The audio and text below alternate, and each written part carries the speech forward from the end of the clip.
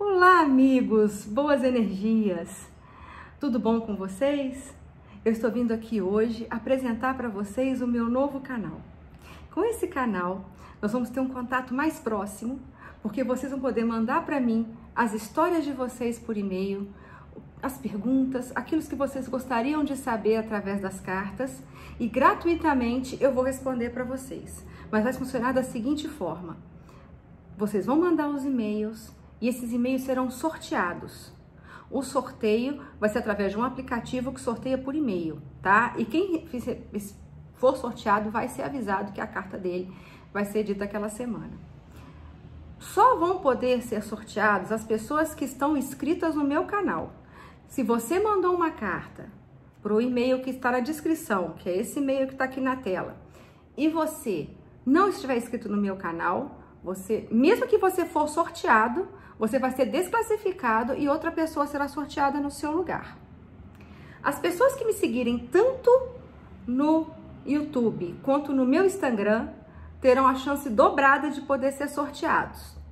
Então eu espero que vocês gostem bastante do conteúdo do, do canal, que vocês se divirtam e que eu possa ser informativa e levar para vocês aquelas situações que vocês gostariam e as coisas que vocês querem saber. Hoje nós vamos começar com a primeira carta. É uma carta que foi enviada para mim é, por uma pessoa chamada. É, é o seguinte, os nomes são trocados, tá? Obviamente, porque ninguém vai querer se expor na internet contando as suas histórias. São nomes trocados, cidades trocadas. Tudo que tiver de indicação de profissão, de qualquer coisa, vai ser mudado. Então, você que é o dono da história saberá que é para você, mas outras pessoas não vão conseguir ligar você a essa história. Então hoje eu vou falar aqui a Renata e o Zé, tá? Nomes que eu inventei. Vocês quiserem mandar o apelido que vocês quiserem também para eu falar, podem mandar o apelido. Mandem, por favor, o nome de vocês, porque eu preciso para pôr as cartas. Mas vocês podem mandar o apelido que vocês gostarem também, algum apelido que vocês inventem. Para vocês ficarem mais fácil, para vocês acharem o vídeo de vocês. Então vamos lá, Renata e o Zé. Quem escreveu foi a Renata, contando a história deles para nós. Eu vou ler para você a carta da Renata, tá? E depois as cartas eu vou jogar o baralho para a gente ver o que, que é que o baralho pode fazer com relação ao que a Renata perguntar e o que que tá se passando na vida dela. Vamos lá que eu vou ler. Olá, cigana Leila. Adoro seus vídeos de signo com o pai André. Venho aqui contar minha história em busca de orientação sobre como proceder. Vou ser simples e direta. Conheci o Zé no meu trabalho. Ele trabalhava de vigia no supermercado que nós, que nós trabalhávamos. Desde o começo eu sabia que ele era casado, mas me apaixonei por ele assim mesmo. Nós começamos como amigos, conversando, sempre na hora do café, na hora do almoço, até que um dia ele me perguntou se queria uma carona para ir para casa. Ele não mora no meu bairro, mas é caminho. Eu disse que sim, porque eu queria ter mais contato com ele, eu queria ter mais conversas com ele fora do trabalho. E tinha esperança de acontecer alguma coisa. Nós fomos conversando todo o caminho. Ele me falou de como era infeliz no casamento dele, de como ele tinha se casado cedo, de como ele amava os dois filhos dele. Ele tem dois meninos. Eu também falei da minha vida, do meu divórcio, de como era triste saber que eu fui traída pelo homem que eu amava e que eu achava que eu ia ficar o resto da vida. Quando a gente entrou no meu bairro, ele foi em direção à minha casa, mas quando ele chegou perto da minha casa, ele virou o carro e parou numa pracinha que fica na rua de cima. Quando ele parou o carro, nós ficamos em silêncio olhando um para o outro. Eu já ia falar com ele que era para ele voltar, que a minha rua, minha casa era na rua de baixo, mas ele segurou o meu rosto com as duas mãos e nós nos beijamos. Cigana, você não imagina a emoção que eu senti? Parecia que tudo na minha vida tinha feito sentido naquele momento. Eu não queria parar de beijar ele, mas ele me empurrou e falou que tinha sido um grande erro que eu deveria esquecer o que tinha acabado de acontecer e nunca mais falar disso, nem com ele e nem com mais ninguém. Ligou o carro muito rápido e me deixou na porta da minha casa, nós dois em silêncio. Eu saí do carro com os olhos cheios de lágrimas. Mal conseguia respirar. Tive que sentar no meu portão para me acalmar antes de entrar em casa. Fiquei sem entender muito bem o que estava acontecendo. Ele tinha me beijado por impulso ou não tinha gostado de mim? Como eu consegui entrar em casa? Desculpa, quando eu consegui entrar em casa, eu recebi uma mensagem dele no meu celular. A mensagem pedia desculpa pelo jeito como ele havia agido e declarava que estava apaixonado por mim, mas que como ele era casado, nossa situação seria muito problemática.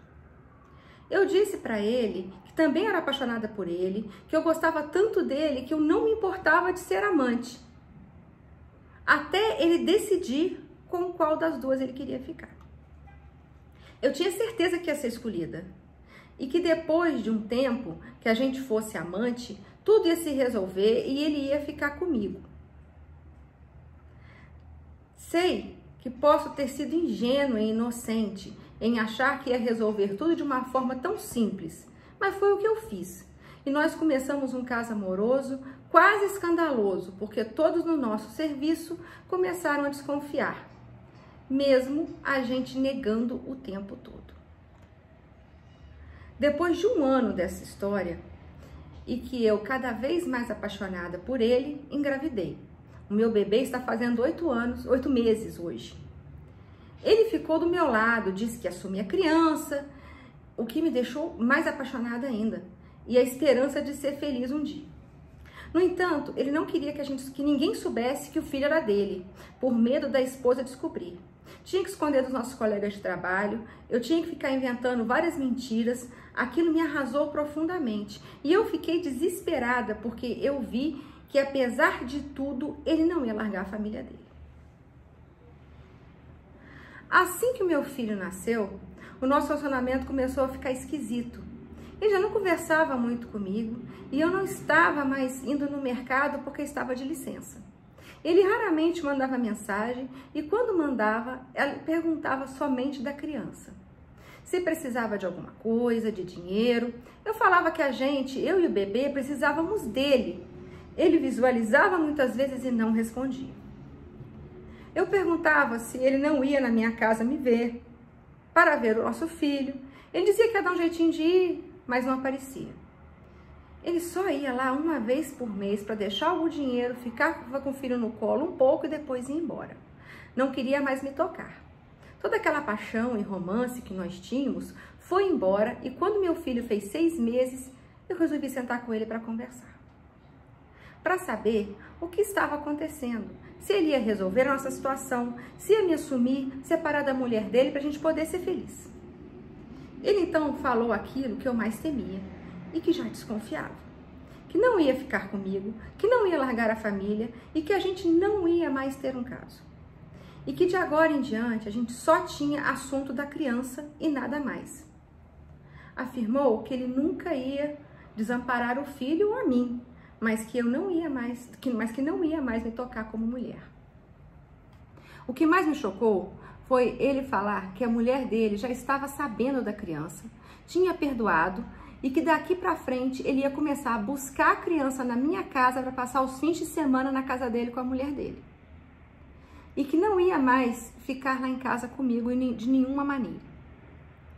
Enquanto ele ia falando, eu só chorava desesperadamente, perguntando como é que ele tinha feito isso comigo que ele tinha me prometido que a gente ia ficar junto. Ele então, muito frio, me disse que não tinha prometido nada, que eu que tinha proposto o caso e que, eu, e o que eu não podia negar. Só que eu sentia que tinha sido manipulada, que ele me vendeu uma ilusão. Ele afirmou que havia dito desde o começo que era casado e que o nosso relacionamento era complicado. E agora, por um vacilo dele, ai minha querida, não deixa eu chamar seu filho de vacilo, não tínhamos um filho, então que a gente teria que focar na criança. Eu falei que ele não podia levar meu filho para casa dele com a mulher, que eu não confiava nela.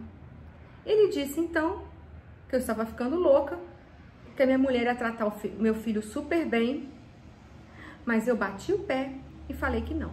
Então ele disse que a decisão era minha e que se era assim, que ele passaria então a depositar o dinheiro do bebê na minha conta e não viria mais à minha casa. Saiu sem olhar para trás. Desde então, ele não apareceu mais aqui. E mal nos falamos por zap. Eu queria, cigana, que você colocasse as cartas e visse o que se passou no coração dele. Se foi toda ilusão, mentira da parte dele, ou se havia algum sentimento dele por mim. E se no futuro ainda volta no nosso caminho. E também queria saber como está a minha vida, o que está escrito para acontecer. Um grande abraço, Renata. Tá vendo aí, minha gente? Vamos ver como é que está a vida da Renata. Passou por tantos problemas, ela foi traída pelo marido, depois ela arranjou esse homem que também, né, só aprontou com ela.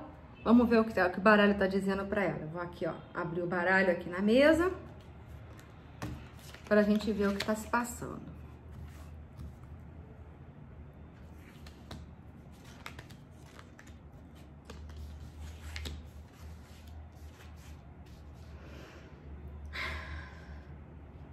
No coração dele tem muito amor à família dele e à vida dele. É isso que passa no coração dele.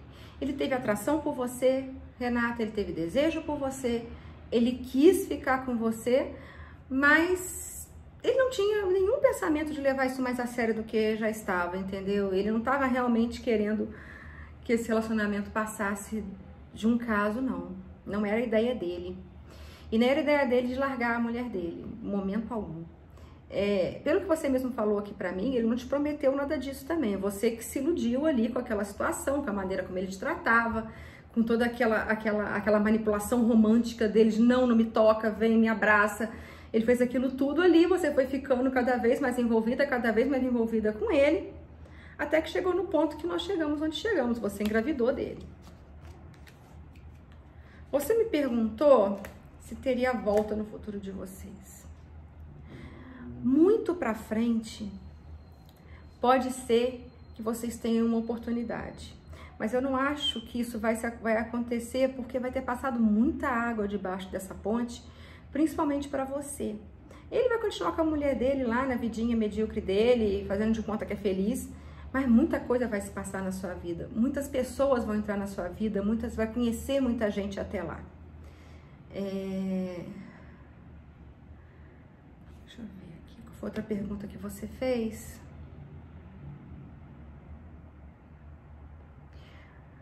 Você falou também sobre o seu futuro. Tem muitos homens para aparecer na sua vida.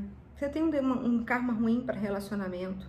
Então tem muitos homens ruins, muitos homens que não estão interessados. Você vai ter que ser muito seletiva e pensar muito a respeito de com quem você vai se meter de que tipo de homem você vai colocar na sua vida. É, eu acho que agora você tem que passar um tempo para você entender tudo que aconteceu, para você vencer isso tudo, para você sentir-se melhor com que tudo que aconteceu. Quando você estiver pronta para pôr alguém na sua vida, você procure alguém que realmente possa completar a sua vida, entendeu? Mesmo se você gostar, começar a se interessar por um homem que você vê que ele não presta, não insiste, porque você vai sofrer no final, porque esse tipo de homem, eles não se preocupam com a pessoa que ele está tendo caso. Você vê que aquilo só realmente é, o negócio todo perdeu a graça para ele quando você ficou grávida, porque ele teve que responsabilizar pelo que ele estava fazendo. Ele teve que contar para a mulher dele, ele teve que contar para as pessoas da família dele. Ele tinha cometido uma situação dessa. Se, então aí tudo perdeu a graça. A graça é viver aquela situação escondida, em que ele tem aquela, aquele lugar para ele fugir ali, sair com você do trabalho, passar na sua casa. Não tem graça quando vira responsabilidade, não tem graça quando vira um filho. E com relação ao seu filho, ele vai dar muito pouca assistência para você, ele praticamente não vai criar essa criança. Quando a criança estiver mais velha, ele vai aparecer na vida dessa criança. Ele, mesmo assim, ele vai ser eventual, ele não vai ser uma, um pai presente, ele nunca vai ser para os seus filhos. É, e é uma coisa que você tem que trabalhar muito com seu filho para que ele não fique revoltado com isso e não odeie o pai, porque ele não vai ganhar nada com isso, entendeu? Não crie seu filho odiando o pai. É... E o que as cartas aconselham para você, para o seu futuro, é você manter o seu coração aberto, não acreditar que tudo só vai acontecer coisa ruim com você. Prestar muita atenção nas pessoas que estão em volta, nos amigos e quando for encontrar uma pessoa para você ter um relacionamento amoroso, escolher alguém que possa preencher o seu coração, que possa te fazer feliz e não alguém que está chegando cheio de conversinha, como esse cara possivelmente chegou, falando da tristeza dele, da família, nessa conversa mole toda. Alguém que seja mais direto, que não precise desses artimanhas de sedução para poder fazer com que você caia na conversa dele. Olha, minha querida, eu tô aqui para o que você precisar, tá, Renata? Se quiser mais informações, eu tô aqui também para te ajudar. Tudo de bom para você. Que Deus te abençoe. Um grande beijo. E para vocês que estão assistindo o canal, espero que tenham gostado da história da história da Renata. Se quiserem comentar, os comentários estão abertos. Pelo amor de Deus, gente, olha a educação, entendeu? Ninguém tem que xingar ninguém, ninguém tem que ofender ninguém muito tranquilamente. Vamos comentar, podem comentar, mandar conselhos para ela, mandar as coisas para ela, mas por favor com educação, tá? E eu espero que vocês tenham gostado do vídeo. Se gostou, por favor, dá um joinha ali para mim. Assina o canal para vocês poderem concorrer às consultas. Se não tiver assinado, não vai concorrer, tá? Mesmo que mande um e-mail com, com, a história, não vai concorrer. E compartilhe o vídeo com seus amigos para que mais gente possa vir, mais gente possa ter consultas gratuitas, tá? Se você quiser uma consulta comigo particular, só nós dois, você vai entrar em contato pelo esse telefone que está na tela ou mesmo no e-mail que está aí para vocês colocarem. Estou aguardando as cartas de vocês, o e-mail está aí embaixo na descrição e também está aqui no vídeo. Ó. E o meu canal, além de estar na descrição, vai aparecer aqui para vocês adicionarem, viu? Um grande abraço para vocês. Axé!